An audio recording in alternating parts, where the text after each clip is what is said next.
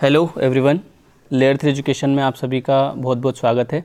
और चलिए, आज मैं आपको जो है, जो आपका पेपर पूछा हुआ था अभी, जो आपने एग्ज़ाम दी थी जो पेपर आपका कैंसिल हो गया था तो इसमें जो आठ क्वेश्चन आए थे, किस टाइप के क्वेश्चन पूछे गए थे, वो हम डिस्कस कर लेते हैं। हालाँकि ऐसा नहीं है कि जैसे क्वेश्चन पूछे गए थे, वैसे वापस से पूछे जाएँगे। अब पैटर्न चेंज होगा 90 परसेंट तो पैटर्न चेंज होगा। तो अब चेंज पैटर्न में क्या आता है, ये डिपेंड करता है। बाकी ये लास्ट के क्वेश्चन कैसे पूछे गए थे, वो हम डिस्कस कर लेते हैं। पहला प्रश्न पूछा गया था, ये जो पेपर है, ये मैंने हिंदी वाले पेपर में से उठाया है, जिसमें आठ नंबर की इंग्लिश आई है, ठीक है? तो वो डिस्कस करेंगे आज हम। Choose the option that best express the meaning of the highlight idiom phrase देखिए हाईलाइट इसने कर नहीं रखा है, लेकिन मैं बताता हूँ इसमें ईडियम क्या है। स्टैंड ऑन सेरेमनी ये इसका एक ईडियम है, ठीक है? अब स्टैंड ऑन सेरेमनी का मतलब जो होता है, वो यहाँ पर क्या होता है? To behave in a formal way to behave in a formal way मतलब कि फॉर्मल वे में बिहेव करना।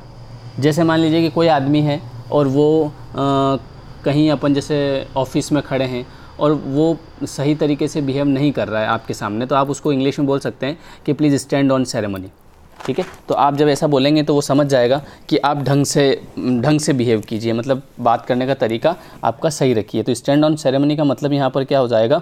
बी फॉर्मल ठीक है? तो ये इसका मीनिंग यहाँ पे होता है। इसका एक सिनोनिम भी होता है, जो होता है कि वेलेडिक्शन ये इसका सिनोनिम है, कभी आ जाए तो आप ध्यान रखना, ठीक है? वैलेडिक्शन का मतलब वही सेम होता है, ठीक है?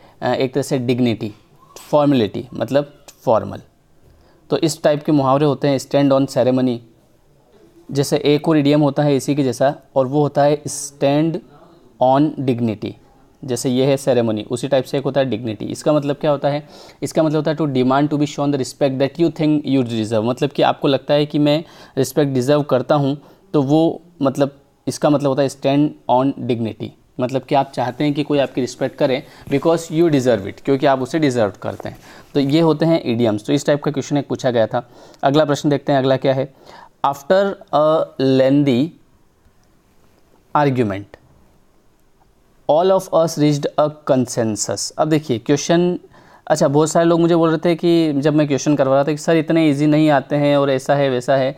तो देखिए, ये क्वेश्चन कोई टफ़ नहीं है इजी ही क्वेश्चन है, जैसे कंसेंसस अब मान लीजिए कि मुझे समझ में नहीं आता है कि कंसेंसस का मतलब क्या होता है। हालाँकि कंसेंसस का मीनिंग बहुत ईजी है, लेकिन यहाँ पर देखिए आफ्टर अ लेंदी आर्ग्यूमेंट मतलब कि जो आर्ग्यूमेंट था, जो बहस थी, वो बहुत ही लेंदी थी और all of us reach reached a consensus तो उसके बाद में हम कंसेंसस पे पहुँचे। तो कंसेंसस का मतलब फाइनली क्या हुआ यहाँ पर? कंसेंसस का मतलब होता है एग्रीमेंट है ना? हम एग्रीमेंट पर यहाँ पर पहुँचे। इसके और भी सिनोनिम है। जैसे कंसेंसस का मतलब होता है हारमोनी ठीक है? कंसेंसस का मतलब इसके अलावा होता है अकॉर्ड ये इसके सिनोनिम है। तो कंसेंसस का मतलब होता है यहाँ पर क्या? एग्रीमेंट ठीक है? तो चलिए, दो क्वेश्चन तो थोड़ा से वोकेब के क्वेश्चन आ गए। तीसरा प्रश्न देखते हैं, अब तीसरा क्या कह रहा है? तीसरा क्वेश्चन जो है वो मुझे पूरा पढ़ने की आवश्यकता नहीं है, क्योंकि इसमें क्या है कि ये प्रेडिक्टेड प्रेडिक्टेड के साथ में जो है ऑप्शन यहाँ पर आएगा कौन सा?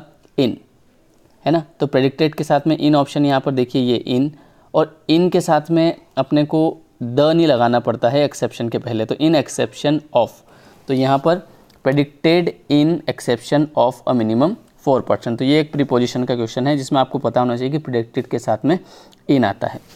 अगला प्रश्न देखते हैं। देखिए क्वेश्चन नंबर चार क्या बोल रहा है कि ये क्वेश्चन तो बहुत आसान है। सबसे पहले यहाँ से शुरू करते हैं।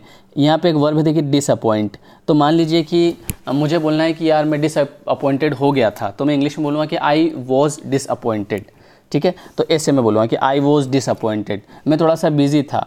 आई वॉज़ बिज़ी मैं नर्वस हो गया था. आई वॉज़ नर्वस तो ये इस प्रकार से वॉज़ प्लस वर्ब की थर्ड फॉर्म हालाँकि वो वर्ब की थर्ड फॉर्म नहीं है. वो एडजेक्टिव का काम कर रहा है. ठीक है? तो यहाँ पर ही वॉज़ अब बहुत सारे लोग लोग ऐसा सोचते हैं कि, सर वॉज़ वर्ग के साथ वर्ब में आई आता है तो इसको लगा देते हैं वो. लेकिन यहाँ पर देखिए, यहाँ पर ये एडजेक्टिव फॉर्म में लेना है आपको. है ना? जैसे कि मान लो मैं चौंक गया तो मुझे बोलना पड़ेगा आई एम सरप्राइज्ड तो ये आपका कौन सा फॉर्म हो गया? एडजेक्टिव फॉर्म तो इसी प्रकार से यहाँ पर ही वॉज़ डिसअपॉइंटेड वो डिसअपॉइंटेड हो गया। कब हो गया? When he did not won अब समझिएगा बात को। ये ऑप्शन हो गया गलत। क्यों? पूछो क्यों? क्योंकि डिड के बाद में हमेशा वर्ब की आती है फ़र्स्ट फॉर्म यहाँ सेकंड ले रहा है मतलब ये गलत है। तो फिर यहाँ देखते हैं वॉज़ डिसअपॉइंटेड और डिड नॉट विन मतलब सही जवाब इसका कौन सा होगा? ऑप्शन नंबर थ्री ठीक है? और पांचवा प्रश्न हम देखते हैं। अब अगला प्रश्न है this is the time to raise such question अब this is the time to raise such question इस टाइप के क्वेश्चन को उठाने का जो टाइम था, वो बिल्कुल भी नहीं था और यहाँ पर बिल्कुल भी नहीं के लिए आएगा स्केर्सली तो this is scarcely the time to raise such question तो इस टाइप के क्वेश्चन को उठाने का टाइम जो था, वो बिल्कुल भी नहीं था। इसके बाद अगला प्रश्न देखिए, इस क्वेश्चन को आप बिना पढ़े सॉल्व कर सकते हैं। पूछिए कैसे। The largely tree less iceless, the largely tree less iceless iceless यहाँ पर एक प्लूरल नाउन है और प्लूरल नाउन के बाद में वर्ब जो है वो सिंगुलर कैसे आएगी, सिंगुलर कैसे आएगी, सिंगुलर कैसे आएगी मतलब ये ऑप्शन गया, ये गया ये गया तो बचा क्या आर तो इसलिए इसका सही जवाब है आर। ठीक है, अगला देखते हैं। अब देखिए, ये क्वेश्चन जो है, इसमें ये पूछ रहा है ऐसा कि out of the following four options choose the incorrect sentence मतलब इसमें आपको क्या करना है कि जो इनकरेक्ट सेंटेंस है उसे यहाँ पर चूज़ करना है।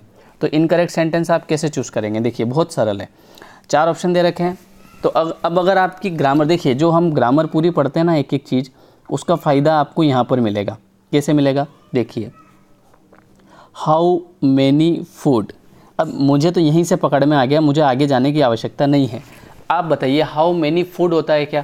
मैनी कहाँ लगता है? मैनी वहाँ पे लगता है जब नाउन होता है प्लूरल और ये बोल रहा है कि हाउ मैनी फ़ूड तो हाउ मैनी फ़ूड कैसे होगा? हाउ मच फ़ूड ज़रूर होगा? तो मैनी की जगह यहाँ पर आएगा मच इसका मतलब कि ये पहला ही गलत है। तो मुझे ये बाकी के चार देखने की आवश्यकता नहीं है, क्योंकि मैं हंड्रेड परसेंट कन्फर्म हूँ कि हाउ मैनी फ़ूड कभी नहीं होता है हाउ मच फ़ूड होता है। तो ये इजी वे में यहाँ से निकल जाता है। और आठवां प्रश्न हम देखते हैं, कितना आसान है। देखिए, वैसे तो ये जिनकी ग्रामर अच्छी है, वो तो इसको फटाक से करेंगे। कैसे करेंगे? चलिए अपन करते हैं। ये बोल रहा है कि एन देखिए, इसमें क्या रहता है कि पी क्यू आर एस में, बहुत सारे स्टूडेंट को तो ये भी समझ नहीं आता है कि पी क्यू आर एस में करना क्या है। मैं बताता हूँ आपको करना क्या है। इसमें क्या है कि पहला सेंटेंस जो आप देख रहे हैं और छठा सेंटेंस ये रहेगा फिक्स मतलब पहला पहले की जगह आएगा और छठा छठे की जगह आएगा। अब जो बचे हैं बीच के पी क्यू आर एस तो ये जो पी क्यू आर एस है ना ये अपने को सही क्रम में जमाने हैं। तो पहला प्रश्न देखिए, देखते हैं पहला सेंटेंस एन ऑक्टोपस मतलब यहाँ से आप थीम जमाइएगा कि थीम क्या है। तो इसकी जो थीम है वो है ऑक्टोपस तो ये ऑक्टोपस की बात कर रहा है। ऑक्टोपस क्या है? एक फूल है। तो an octopus appears to be just a huge head with eight long fearful arms है ना? ऑक्टोपस नहीं, फूल नहीं है। ऑक्टोपस एक तो वो जैसे क्या बोलते हैं उसको? केकड़ा या ऐसा कुछ होता है ऑक्टोपस है ना? तो वो उसकी बात कर रहा है ये। मुझे यहाँ से पता चला कि फियरफुल आर्म्स आर्म्स का मतलब होता है उसकी ऐसी भुजाएँ होती है फियरफुल है ना? ऐसे डरावनी। और विथ एट लॉन्ग और कितनी होती है? आठ। एक, दो, तीन, चार, पाँच, छः, सात, आठ, ऐसे। तो ये उस, उसकी बात कर रहा है ये। अब ये सेंटेंस फिक्स है। अब इसके बाद आपको क्या करना है? तो एक देखिए, अब मैं यहाँ से समझाने की कोशिश करता हूँ। अगर मैं अगला सेंटेंस यहाँ पे उठाता हूँ इट्स माउथ ठीक है? एक है इट्स माउथ और एक है इट्स हेड है ना? और इट हैज़ पावरफुल चार्ज तो सबसे पहले अगर ये यहाँ बात कर रहा है कि एन ऑक्टोपस अपियर्स तो इसके बाद डायरेक्ट मैं सेंटेंस लूँगा इट्स या इट्स वाला। अब बताइए इट्स माउथ पहले लूँ या इट्स हेड पहले लूँ? तो पहले हम बात करेंगे हेड से। हेड से शुरू करेंगे। तो पहले के बाद डायरेक्ट आएगा क्यू तो क्यू में क्या आ जाएगा कि इट्स हेड उसका जो सर है इज़ सॉफ्ट बहुत सॉफ्ट होता है लाइक रबर रबर के जैसा। एंड इट्स आइस और उसकी जो आँखें होती है स्टिक आउट अच्छा अगर आप लोग कहते हो कि, सर, हमें तो इतनी हिंदी करने नहीं आती है तो आप ये भी मत भूलना कि आप एम ए इंग्लिश लिटरेचर करके बैठे हैं, है ना? हाँ ये बात हमेशा ध्यान रहे। बात कड़वी है, पर सच है कि एम ए इंग्लिश लिटरेचर का मतलब होता है कि मास्टर ऑफ़ आर्ट्स है ना? तो मास्टर हैं आप। मतलब मास्टर का अर्थ ये हुआ कि अगर आपसे मैं कुछ भी पूछ लूँ तो आप बता सकते हैं, किसमें? बोले इंग्लिश में। ऐसा क्यों? क्योंकि आपने ही कर रखा है master of arts in English literature तो इतना तो एग्जामिनर को बनता है कि वो आपसे पूछे, ठीक है? तो यहाँ पे आप एक्सक्यूजेज नहीं दे सकते कि, सर, हमें इतनी इंग्लिश करते नहीं आती है। तो या फिर वो एक तरह से अपनी तोहिन हो जाएगी कि हम लोग मास्टर ऑफ़ आर्ट्स हैं, है ना? तो आप समझ सकते हैं। तो मैं बात को आगे बढ़ाता हूँ। वो its head is soft like rubber उसका जो हेड है, वो रबर के जैसा सॉफ्ट है और its ice stick on stark so that it can see in a in all direction और उसकी जो आँखें इस तरह से स्टिक्ट है कि वो सब तरीक सब तरफ़ से देख सकता है। तो अब अगला हम लेंगे क्यू अब मान लो आपने क्यू ले लिया अगला, और आपको समझ में आ गया कि ये फाइनली आना है तो ये दो ऑप्शन ऑटोमेटिक कट गए यहाँ से। अब बचा दो, बचे दो, है ना? अब Q के बाद में आपको देखो, एक और और तो पकड़ना पड़ेगा, जो कि P हंड्रेड परसेंट आएगा। तो इसका मतलब अगर Q आ गया तो P उसने ही दिया है दो में। इट्स माउथ के बारे में बात करेगा वो, है ना? अब ख़ास बात यह है कि इसमें एस आर आएगा मतलब पहले एस आएगा या पहले आर आएगा। ये अपने को देखना है है ना? तो इस हिसाब से अगर मैं देखूँ तो मुझे यहाँ से पढ़ना पड़ेगा।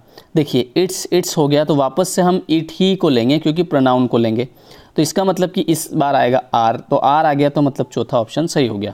इट हैज़ पावरफुल जास मतलब पूरे उसी के बारे में पूरी बात ख़त्म करके और फिर हम लॉन्ग आर्म और हैव डबल जो भी है इसको पकड़ेंगे।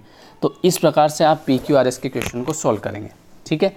चलिए, अब मैं आपको मैथ्स भी इसमें कवर करवा दूँगा, जितना जितना आपका मैथ्स जो आ रहा है, उसमें जो जो पेपर में आपका मैथ्स होता है आठ आठ, दस नंबर का तो वो, जैसे अभी मैंने एक टाइम एंड वर्क का वीडियो बनाया था, वो आप देख लेना। इसके बाद में कल प्रतिशतता और डिस्काउंट और पी एंड एल और ये एस आई सी आई जो जो आपके चार पाँच चैप्टर हैं, जो खास खास आते हैं तो वो हम लोग इसी चैनल पे डिस्कस करेंगे। मैं खुद बताऊँगा आपको बहुत ही ईजी ट्रिक में तो वो भी देख लेना। इसके अलावा मैडम आपके लिए रेगुलर बेसिस पे वीडियो बना रही है पेडागोगी की, वो भी आप देखते रहें।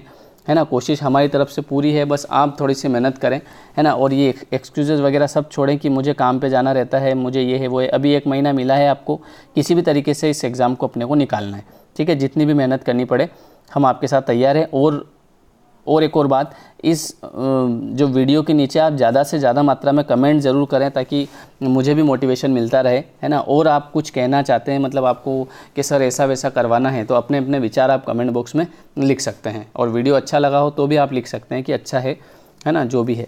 तो उससे क्या होता है, जितने ज़्यादा कमेंट होते हैं तो उतना मेरी भी इच्छा होती है कि मैं एक और वीडियो फटाफट बनाऊँ, ठीक है? चलिए तो मैं क्या कह रहा था? हाँ एक और ऑनलाइन जो क्लास है ग्रामर की, वो भी चल रही है, ठीक है? जो लोग बिल्कुल बहुत ज़्यादा कमज़ोर है तो वो ऑनलाइन ग्रामर की क्लास को ज्वाइन कर सकते हैं। तो उसके लिए मुझे इस नंबर पे आपको क्या करना है मैसेज मैसेज करना पड़ेगा व्हाट्सअप पे, जिसमें आप लिखिएगा ज्वाइन ऑनलाइन क्लास की फ़ीस है पंद्रह सौ रुपये मात्र, ठीक है? चलिए तो मिलते हैं हम नेक्स्ट वीडियो में। आप सभी का बहुत बहुत धन्यवाद।